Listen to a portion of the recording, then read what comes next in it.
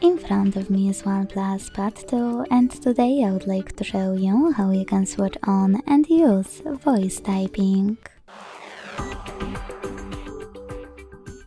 Begin by launching your keyboard and clicking on microphone icon at the top right corner.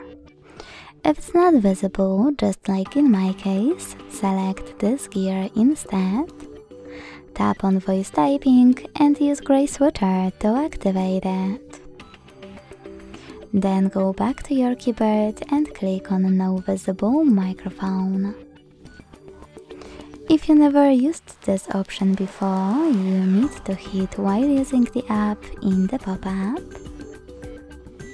and start typing. As you can see, voice typing is off. If you want to stop, you can simply stop talking or click on microphone icon again. Thanks so much for watching. If you enjoyed this video, leave a like comment and subscribe. Bye!